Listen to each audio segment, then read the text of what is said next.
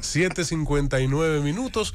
Este es el gobierno de la mañana, la Z101. Es el tiempo de escuchar el comentario de nuestro compañero José Luis Mendoza y Cervantes. Se me, me pasó nuestro una, coordinador. me pasó una confundancia ahí, FIFA. Sí. Mala mía. Le puede pasar a cualquiera. Qué problema, ¿eh? Lo importante es que aquí estamos. Es el turno de nuestro compañero José Luis Mendoza. Gracias, Jesús. Eh, quiero eh, a mi compañero Felipe Romero. eh, bueno, yo generalmente los comentarios de Felipe los escucho con mucha atención. Los de todos los compañeros. Pero el de, Eh, di, di- di la verdad, eh, sincerízate, el de Felipe con mayor ahínco y Bueno, entusiasmo. lo que pasa, primero hay que decir, eh, con Felipe, posiblemente de esta cabina sea con el que más tiempo hemos tenido debatiendo temas desde el gobierno de la tarde. Eh, además de que también Felipe siempre me ha dado mucha libertad en esta relación que tenemos muy buena, muy constructiva. Atención. de nosotros diferir, eh, de nosotros diferir, de nosotros tener eh, desde, posi- desde posiciones distintas eh, sobre un mismo tema, bueno, construir una, a veces un aporte, un aporte que puede venir desde diferentes puntos de vista. Eh, eh, pero en este caso de, de lo que él acaba de decir de las lluvias, yo debo decir que es uno de los temas que con más facilidad me suscribo. Mira, eh, nadie puede interrumpir los ciclos naturales de manera total. Eh, el agua eh, tiene un proceso, un ciclo natural desde su evaporación en los mares, su condensación en los cielos en forma de nubes y ese vapor de agua que vemos en forma de nubes, a veces muy hermosas, a veces amenazantes, a veces muy lejanas en esos cúmulos, en esas borrascas. Eh, luego la vemos precipitarse, condensarse en forma de agua y ahí genera entonces el proceso que conocemos como escorrentía. Esa escorrentía, ese, deslizamiento, tiene varias, varias rutas. Eh, tenemos la de los ríos, que es la, obviamente la más conocida, la más visible. Tenemos los ríos subterráneos. Tenemos una escorrentía más difícil de ver que ocurre a través de la capa vegetal. Eh, por eso es tan importante en muchos lugares eh, tratar de, volver a recuperar la capa boscosa eh, y en algunos lugares donde no existió nunca, incrementarla, porque también esa alfombra, ese alfombrado natural ayuda muchísimo. Primero, la propia agua que terminan consumiendo los eh, seres vivos vegetales, el, el reino vegetal, los árboles, y que luego nos la devuelven eh, eh, pues en forma de, de- de madera, de corteza, en forma de frutos, de follaje, de una serie de materias que utilizamos y que son muy importantes para el desarrollo de la humanidad. Pero volvemos a la escorrentía. El agua busca el punto más bajo, elemental. Por eso hay cuencas endorreicas, las cuencas cerradas, que van hacia un lago generalmente o hacia un área de evaporación, y las cuencas abiertas, las cuencas que terminan en un lugar directamente hacia el mar. Que- El, el agua tiene pura y simplemente un deber para con la física. Y es que buscará el punto más bajo donde esté. En el camino va a erosionar, va a alimentar raíces, va a alimentar seres humanos, va a alimentar vacas, va a alimentar el agro, pero buscará ese punto más bajo siempre. Y tú sabes que a propósito de correntía, te decía ahorita fuera del aire, que aquí hay mucha gente que incluso son arquitectos, eh, son planificadores, pero hay que conocer la topografía de la ciudad de Santo Domingo. Todo comienza con un análisis de suelo. Y tú sabes que pocos ingenieros conocen aquí la topografía de la ciudad de Santo Domingo. Todo comienza, Felipe. Tú todo- sabes, eh, tú, sabes, tú sabes que la correntía, o sea, tú tienes distintas terrazas en la ciudad de Santo Domingo. Sí. Y ojalá Osiris nos pueda ayudar en el transcurso del programa con esto. Esa te- esta terraza donde nosotros estamos sobre la 27 de febrero es como si fuera la cordillera central. Te deriva el agua hacia el norte, que es la mayor cantidad de agua que se deriva. Por eso tú ves que en el caso específico donde estaba el Centro Olímpico, toda la zona de Naco, Gaco, Piantini, eh, la, la Kennedy, bajando hasta eh, la acá, ¿cómo se llama? Los Prados, la Luperón, tú observas una gran cantidad de lagunas o cenotes. Sí, sí, sí. Se, se, O sea, se- se forma- todavía ahí, ahí en la, eh, de- detrás de- del Claret, En las praderas. en la pradera, no, pero en el Claret, ahí hay lagunas todavía, en los se, forman, se forman muy fácilmente en algunos puntos todavía. Porque son nacimientos Eh. de ríos, o sea, eso eran nacimientos normales de aguas, de ríos, eso eran Y parcelas. se da punto que de ahí. acumulación de agua de manera muy natural. Por ejemplo, en la parte norte, todo el que conoce ahí la zona del Club Los Prados sabe que la calle que pasa en su flanco Ahora, norte. ¿cómo drenaron la- esas aguas? ¿Y por qué? No, se hicieron rellenos. No, ¿tú sabes por qué se produjeron, se están produciendo todavía en el caso de los prados, que hay una normativa que te impide construir en, en algunas áreas por encima de dos o tres niveles?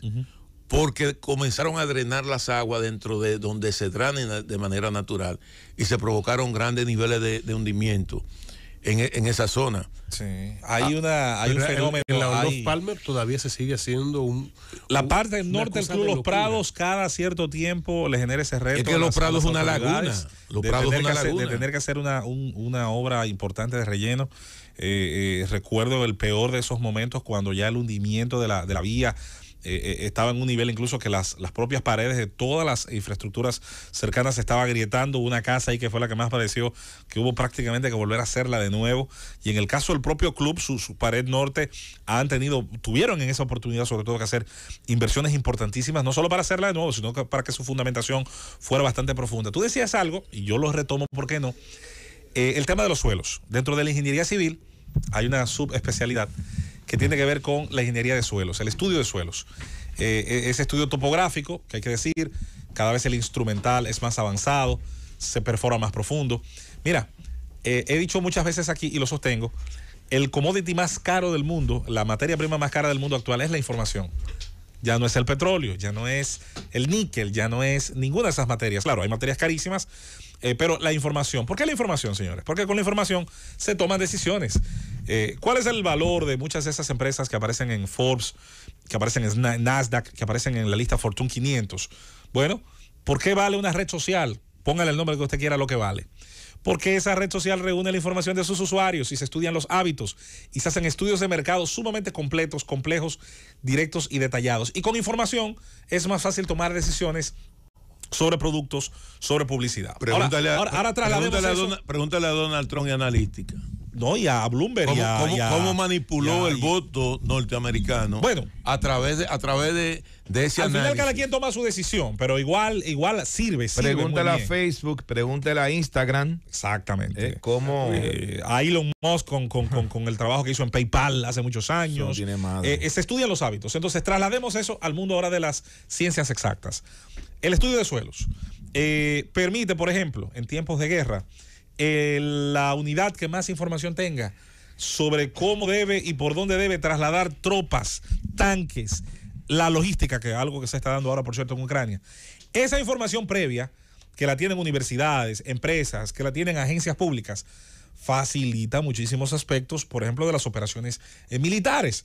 Eh, de ahí que grandes agencias públicas y que abastecen a la inteligencia y a los servicios de inteligencia militar sean algunas de las más informadas del mundo. El que ha leído, ha tenido alguna vez en sus manos el CIA Fatbook, el libro de datos de la CIA, sabrá de lo que estoy hablando. Es una de, los, de las publicaciones más complejas Yo, yo lo, y, y tengo más con, lo tengo permanentemente en mi celular. es uno de los, de los más completos, posiblemente almanaques, eh, con los que se puede contar en el mundo. Entonces, en nuestra ciudad, si lo trasladamos a políticas locales, Felipe, ah, vamos a aplatanarlo. Sería imposible, por ejemplo, decirle a, a un habitante que venga desde fuera que eh, no, tiene, no tiene la República Dominicana. En algunos casos lo tiene, hay empresas que lo tienen, me consta, sobre todo empresas del rubro de la construcción, empresas de la logística, que tienen de todas las áreas donde están instalaciones suyas, estudios de suelo. Esos estudios de suelo, que se supone, esa información deberían preocuparse mucho en los municipios, y ahí entramos, Nayib, otra vez al tema de los recursos con los que cuentan los municipios. Eh, un municipio que apenas tiene para el gasto corriente y para pagar la recogida de basura, sería una, una charlatanada pedirle aquí que haga, tanto de manera propia o de manera paga, outsourcing, eh, tercerice el pago a un laboratorio de suelos y mantenga, por ejemplo, una memoria de todos los tipos de suelo que hay en su demarcación. Eso sería ideal, pero no es práctico en el esquema que hoy tenemos. ¿Cómo se ha llenado ese vacío? Bueno, la empresa privada, No hay recursos. la empresa privada que quiere dar un servicio de calidad, porque no todas le interesa, hay quien pretende ahorrarse eso. Y ahí voy a citar, no, no suelo hacerlo, pero quiero citar a EPSA Labco, que es eh, el laboratorio de construcción eh, privado posiblemente más famoso del país, donde los estudios de suelo y de subsuelo son tan buenos que casi la mayoría de las empresas constructoras, muchas de ellas subcontrata a esa empresa. ¿Para qué? Para poder calcular muy bien dónde se construye, de qué manera y cuáles son las posibilidades de cada lugar de la capital de soportar una infraestructura X. Ahora vamos a trasladarnos a las políticas públicas, que es lo que nos interesa, que es el fin de este comentario. Señores, no hay excusa en pleno siglo XXI para que una carretera se haga en un lugar donde todo el mundo sabe que la calzada se va a hundir. No hay excusa en pleno siglo XXI para que se hagan puentes como los que yo vi hacer algunas veces en mi propio pueblo y que cada crecida del río Vía le rompiera los aproches y terminara el tablero teniendo que ser sustituido y el puente hecho de nuevo. Yo he dicho muchas veces aquí, me han escuchado los compañeros, la corrupción técnica es tan mala o peor como la administrativa. Y mucha gente se sorprende y dice, no, ¿cómo va a ser? Imposible, porque asocia que la corrupción administrativa es la que da grandes titulares, es la que permite concentrar a veces en un solo rostro esas grandes culpabilidades, esos grandes pesos sobre los hombros. Yo no niego que la corrupción administrativa tiene en su persecución una aproximación mediática que la otra no tiene, pero ahora pregúntese, ¿Cuántas veces usted como contribuyente ha tenido que pagar con sus impuestos que se haga el mismo puente sobre el río Jura en Asua? O que se haga el mismo puente sobre el río Vía? O que se eh, vuelvan a, colocar los aproches sobre tantos puentes y sobre tantas vías sobre el Camú, sobre el Jaya, sobre el Yásica y sobre otros ríos dominicanos? Ahí voy, que siempre La corrupción técnica es un crimen peor porque se repite. Pero oye, oye lo peor de todo. Yo hablaba con un ministro tengo una excelente relación, un exministro, y me decía, mira, es que tú puedes construir un puente y tú construyes el mismo puente. Ahora, ese puente que tú construyes te puede costar, por ejemplo, 300, eh, eh, un millón, 100 eh, millones de dólares, te puede costar 300 millones de dólares o te puede costar 400 millones de dólares. Ahora, ¿qué es lo que ocurre? Es el tema en la calidad. Entonces, cuando tú dices. Calidad y exactitud. Y exactitud pero eso tiene un costo mayor. Tú le haces un puente, por ejemplo, por ahorrarte unos, unos pero oye, por ejemplo, un puente con un tablero que no va a la altura de la que va. Pero. Una crecida te sube por encima. Hay que hacerlo de nuevo. No, pero óyeme, óyeme, óyeme, el punto, que estoy de acuerdo contigo, porque por eso quiero eh, hacer este aporte. Ahora, ¿qué ocurre? Tú haces así y haces un puente que cuesta 100 millones de dólares y viene otra gente y te dice, no, pero ese puente se construía con 50 millones de dólares. Ahora, ¿cuáles son las especificaciones técnicas que tú tienes para la Obviamente, construcción queremos ¿cuál, es el tipo de, cuál, es el tipo de hormigón en términos de la mecánica de suelo? O el tipo de hormigón de resistencia que puede tener ese puente, que tú me dices que está construyendo con 50 millones de dólares, que lo puede construir con 50 millones de dólares al que yo estoy construyendo con 100 millones de dólares. Habría que ver si con la misma calidad. La calidad, el mismo acero, el tipo de acero. El tipo de movimiento de tierra que tú haces para colocar unos pilares mucho más profundos, más resistentes. Lo calcula la cantidad de metros cúbicos de, agua por segundo que pasan por ahí, que tienen que resistir la presión el diseño adecuado, y el diseño un puente, por ejemplo, en un lecho más estrecho puede ser de arco, no necesitará un, pilón, un pilote central y eso te ahorra muchos problemas. Pero si es muy Por largo. eso es que la construcción es tan compleja. Cuando una gente te dice, bueno, es que, es que además de eso, no hay forma de que tú puedas. Eh, que no se descubra un acto de corrupción en una, obra, en una obra en una obra en una obra física. Traslade deja su huella. traslade eso. Estoy de acuerdo contigo. Todo toda eh, toda violación a, ese estimulado, a esa estimación en relación calidad-precio, se puede en ingeniería perfectamente descubrir. Existen todos los mecanismos para encontrar esas falencias. Tú taladras, y, óyeme, tú taladras esa, esa columna, que probablemente es un edificio que tiene unos tú puedes encontrar por la granulación, por, por el, hueco, por la calidad. Lo llevo a un laboratorio, lo llevo a un laboratorio. Y el laboratorio te dice a ti cuál es el nivel de resistencia. ¿Qué cantidad, qué cantidad de hormigón por metro cúbico de cemento se utilizó? ¿Cuál es la resistencia que tiene ese hormigón? Si una resistencia de 280, si de 300, si de 400, si de 500. La corrupción técnica, la corrupción técnica le ha hecho a este país un daño incalculable. Eh, eh, pudiera trasladarse este mismo enfoque al sistema de presas, pudiera trasladarse este mismo enfoque, que a mí me interesa mucho el tema de las carreteras, al tema del asfaltado, que se ha hecho, cuántas veces no se ha hecho con, con capas de asfaltado de pésima calidad y la granulación se ha mezclado, eh, para que el resultado sea precisamente ese, el peor posible. Y luego, y ahí vuelvo a las lluvias, que son las que desnudan, como dice Felipe, nuestros pecados infraestructurales. ¿Qué hace el, agua? Simplemente erosiona lo que encuentra, porque es algo natural, es un tema dentro del propio comportamiento del fluido.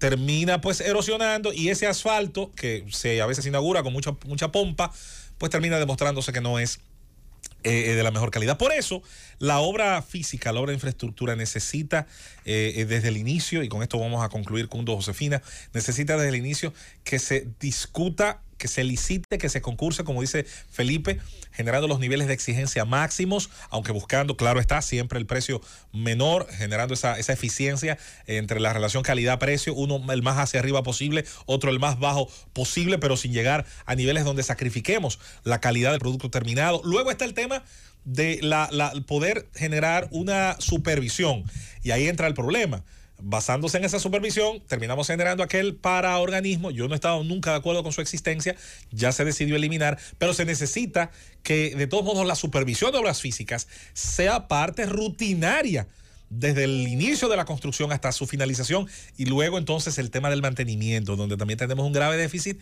en la administración pública, un, un, mantenimiento preventivo, que las intervenciones no se tengan que hacer ya cuando hay que reparar lo dañado, cuando hay que hacer intervenciones caras, costosas al bolsillo del contribuyente, diciendo que ah, sobre la base de la prevención, sobre la base de un cuidado, sobre la base de unos calendarios y de unos tiempos y unas frecuencias que también se calculan en ingeniería, pues podamos hacer que perduren lo más que se pueda estas infraestructuras. Nuestro país tiene todavía una gran deuda infraestructural. Nosotros no vamos a saldarla en poco tiempo. Falta mucho para nosotros llegar a unos niveles que podamos decir que ya lo que se está haciendo es el detalle y el complemento. A nosotros nos falta todavía. Pero para llegar allí y con esos grandes caudales de recursos públicos que salen de los bolsillos de los contribuyentes, de los que generamos riqueza, de los que pagamos impuestos, todavía tenemos que hacer un mayor esfuerzo por cuidar la calidad, el resultado final, pero sobre todo la transparencia con la que se hacen las vías, los puentes y todas las infraestructuras que los dominicanos necesitamos para seguir luchando por mejorar la calidad de vida de este pueblo. Llévatelo.